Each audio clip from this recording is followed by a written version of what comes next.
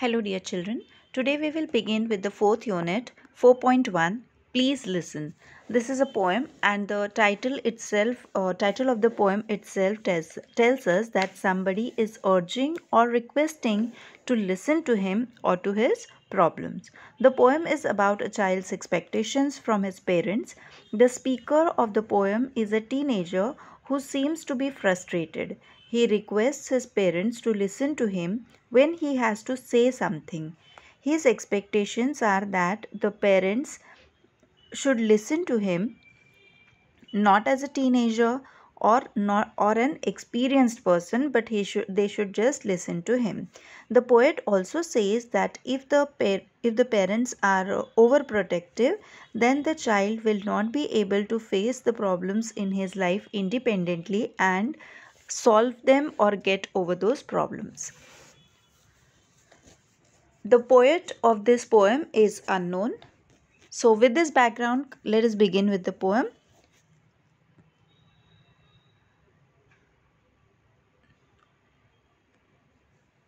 When I ask you to listen to me and you start giving me advices, you have not done what I asked.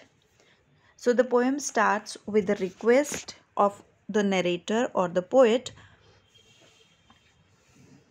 to his parents to listen to him. But his parents starts giving him advice and try to solve his problem. So the poet feels that his parents have not done what he has asked them to do because the poet has asked his parents to listen but they are not listening to him or what he wants to say when i ask you to listen or uh, listen to the sorry when i ask you to listen to the listen to me and you begin to tell me why i shouldn't feel that way you are trampling on my feelings. Children here trampling means to crush or uh, not to follow or to or to ruin.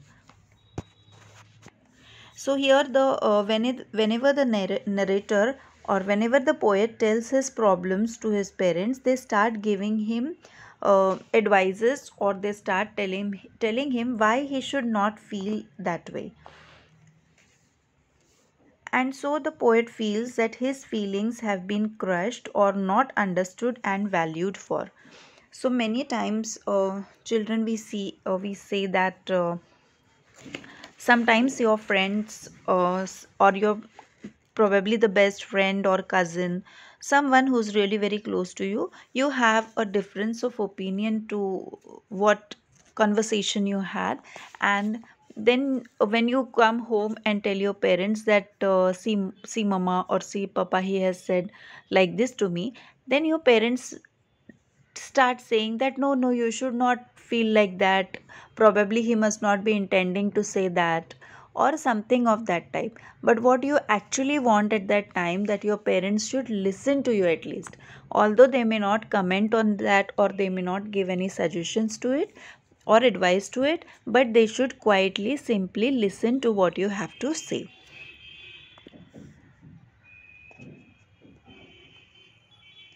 When I ask you to listen to me and you feel you have to do something to solve my problem, you have failed me, strange as that may seem. So, whenever the poet asks the parents to listen to him, the parents start feeling that they have to help him or to solve his problem. This gives the parents a feeling of satisfaction of doing something to solve their children's problem or their child's problem, but the child experiences a sense of failure.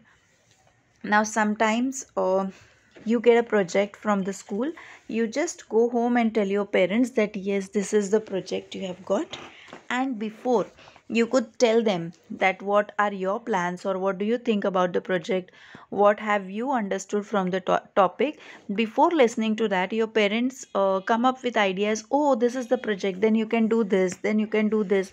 If you want i'll help you. If you want i'll do the project. You don't worry about it sometimes these are the reactions of the parents. So when the parents do react that way the child feels that he has failed. Failed in the sense failed to communicate to his, parents what he feels.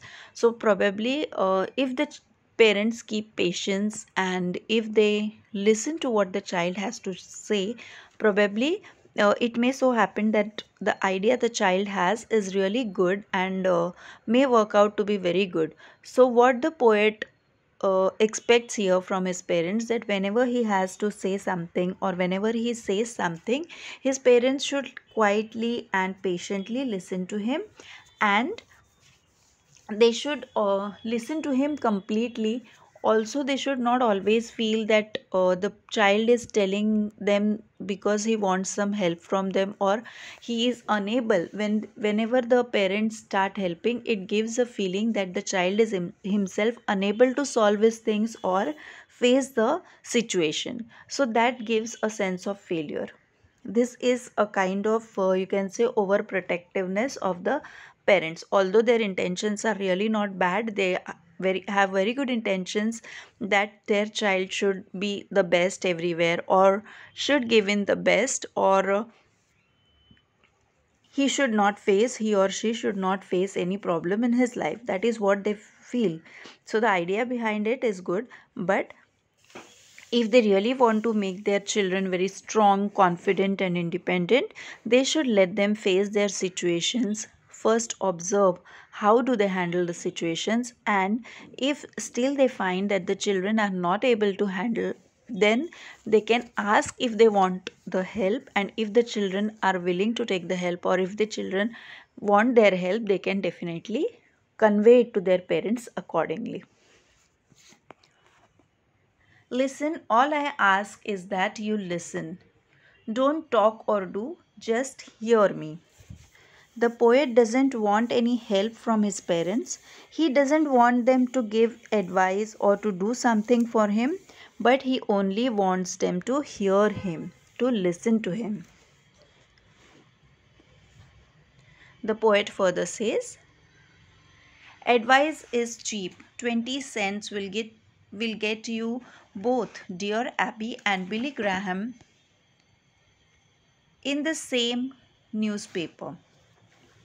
Now children, first of all, let me tell you that uh, this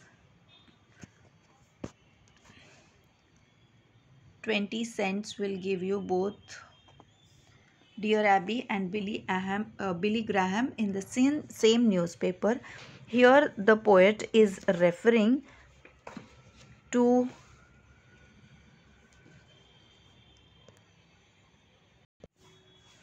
the columns in the newspapers where people write about their problems and the columnists uh, that is the experts on uh, of those fields offer advice.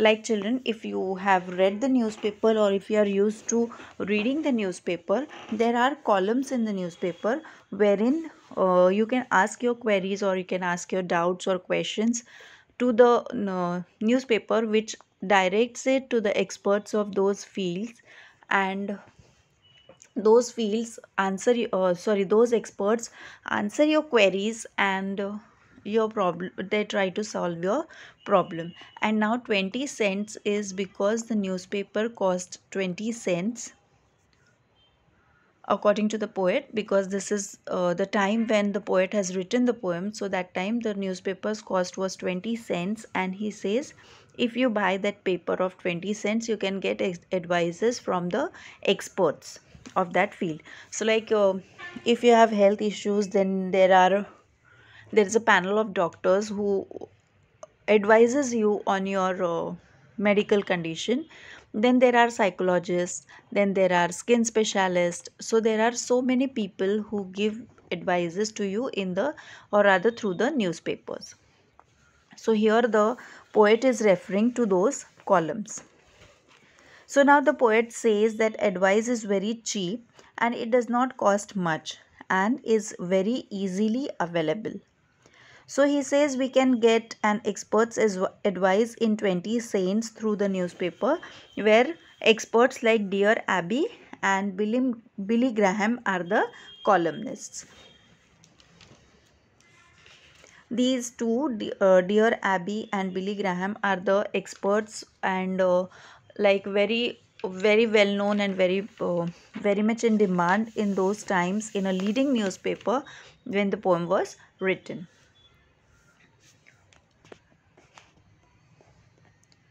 And i can do for myself what i uh, i am not helpless maybe discouraged and faltering but not helpless.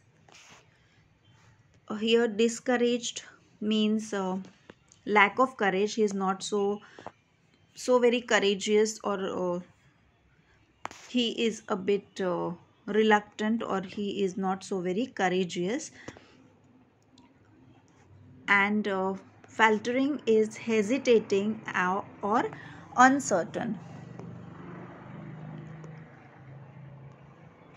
so um, the poet says he is not helpless or he can be uh, he he says that he is not helpless. He, he can do things himself or he can just help himself and do his things.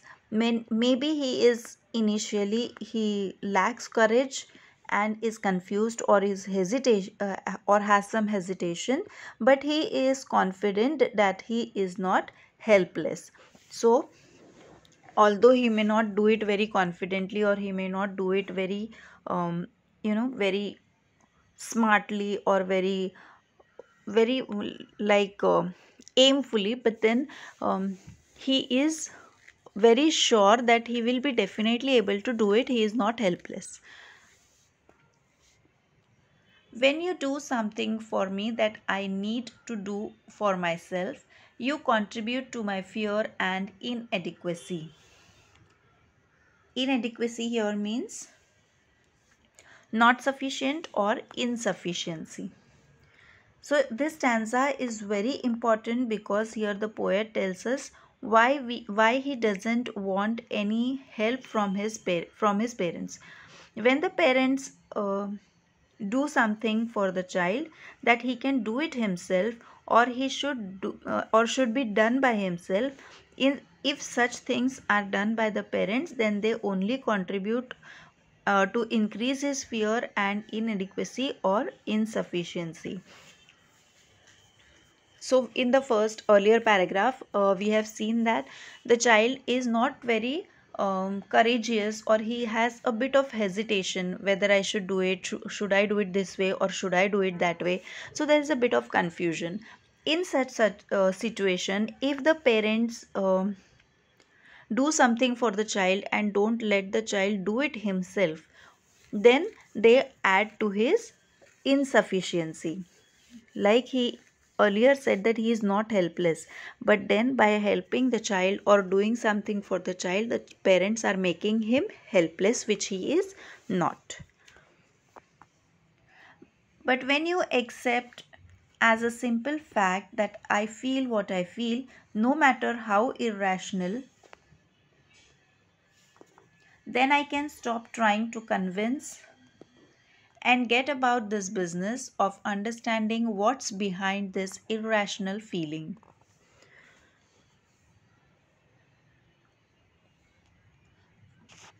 So here children get about is move around and irrational is illogical or without any reason or without any base. So now here the poet wants that his parents should accept his feeling when uh, even if they find it to be illogical and they should understand him and his irrational or illogical feelings. Then he can stop convincing his parents and continue with his work. Now children sometimes uh, it so happens that you have a very small fight or you have a very uh, you know very small reason to have a difference of opinion with your someone like you can say best friend or your father or your mother or your sibling. But sometimes what happens that that simple uh, thing or that small thing which has happened is not the actual cause. But then there are so many incidences which are connected like before also you have had some experience and you ignored it. You just you just let it go or you didn't uh, mind it much then. But when these things happen again and again again and again so sometimes it so happens that it is not a big thing but still you are very much hurt because of the past experience. But then um, this is not known to anyone else other than yourself. So you behave or you react very differently or very aggressively on that situation. So um, when no one knows this background your reaction or your feeling might sound irrational to them or illogical to them. Like uh, they may come up with like so what? It is such a small thing. You should not mind it. You should just let it go. They might be of that opinion. So he says that uh, so the poet says that he whatever is the reason or whatever is the reaction it might be illogical or irrational it not it may not be it may seem that it is without any reason or without any base. But then if he has to still keep on convincing his parents that no this has a logical reason this has something to do with it then he cannot continue with his work. But if he uh, is just okay fine what you feel is okay okay. If the parents react that way then he can just um, keep quiet and just think over what things have happened. And he would himself try to understand what is behind his irrational or illogical feeling. He would just think and he would find out what was the reason of his illogical or irrational behavior. So we should be uh, so he should be allowed to do what he wants to do and let him have the experience and learn from it. So the poet feels that he should be left alone he should be allowed to have his own experience and from his that experience he will learn so many things which will be sort of a practical knowledge which he will remember better and which will be a very good learning for for, for him. Maybe it may be right it may be wrong but it definitely will be a very good learning for the child he will also learn about the dra- drawback from it or the shortcomings from, of it and deal with his problems himself. This will make him independent and confident. And when there and when that's clear, the answers the answers are obvious and I don't need advice irrational feelings make sense when we understand what's behind them.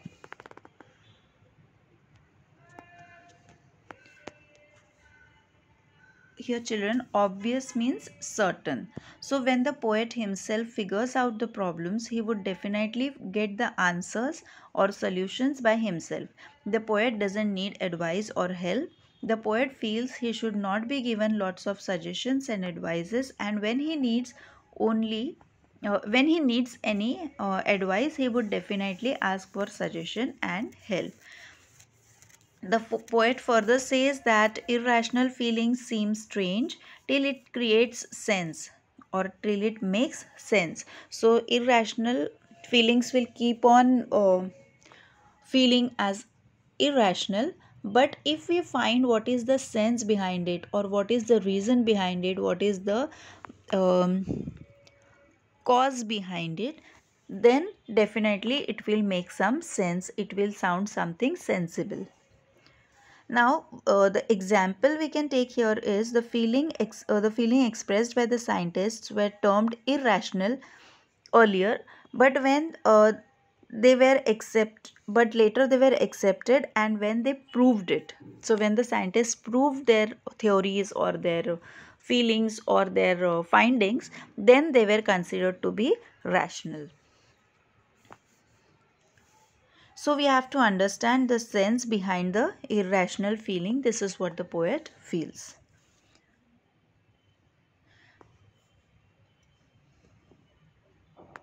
Perhaps that's why prayers work sometimes for some people because God is mute and he doesn't give advice or try to fix things. God just listens and lets you lets you work it out for yourself. So now here the poet feels that God remains silent. Mute means silent.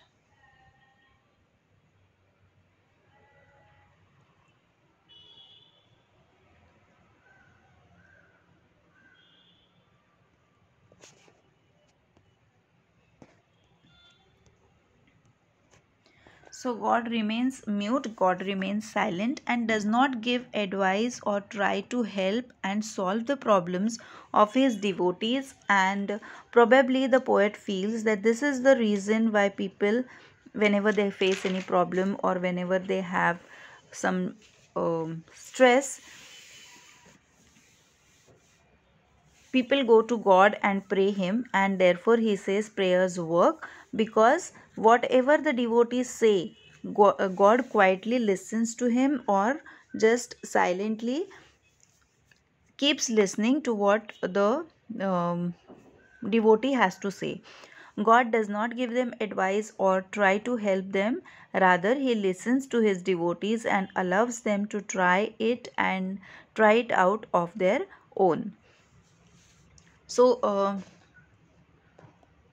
the poet feels that since the god doesn't really uh, unlike the parents the god doesn't try to help out the devotees or help out the people who come to god's shelter and they pray to god that uh, I am in so and so difficulty or I have such and such problem. So God doesn't just uh, speak up and tell what solution he should find out or God doesn't do any miracle to things uh, to settle down things or fix things. So he says that probably that is why the prayers work because God remains silent. He silently listens to his devotees and allows them to do whatever they want to do or whatever way they want to find out for their uh, problems, whatever solutions they find out for their for themselves. And so at the end the poet says, so please listen and just hear me and if you want to talk, wait a minute for your turn and I will listen to you. So finally the child um, or the poet requests the parents to listen to him carefully just like the god and just like the god does. And if they want to talk they should wait for their turn. And then the poet will listen to his parents or the um, listener also. So that is what uh, what was in the poem. Here we come to an end of this poem and from this poem it seems that the poet's parents do not listen to him and therefore the poet has written this poem to tell all those parents. But what have we learned from this poem? So we can conclude that we should be a good listener even if the speaker is a child or an adult and we should try to understand his feelings. So we should be good listeners. We should listen to them completely, not just give them free advices and try to fix things. So many times it is that people share their feelings with us because they want someone to just listen to them. They don't really need advices and uh, they do not really need suggestions or they do not need someone to fix the problems. Earlier it was a newspaper column. Now newspaper columns are still there. But then we have youtube. We have google to answer all our queries and questions. So actually i don't really think that we think that we really need advices. We get free advices and suggestions from these um, from these network networking sites. And uh, so, whenever someone tries to share with you, be a very good listener and try to listen to him properly and completely patiently. Thank you so much, children. Here we come to the end, and I'll be sending you the uh, textual exercise after this uh, video. And please do complete your notebooks in time. Thank you so much.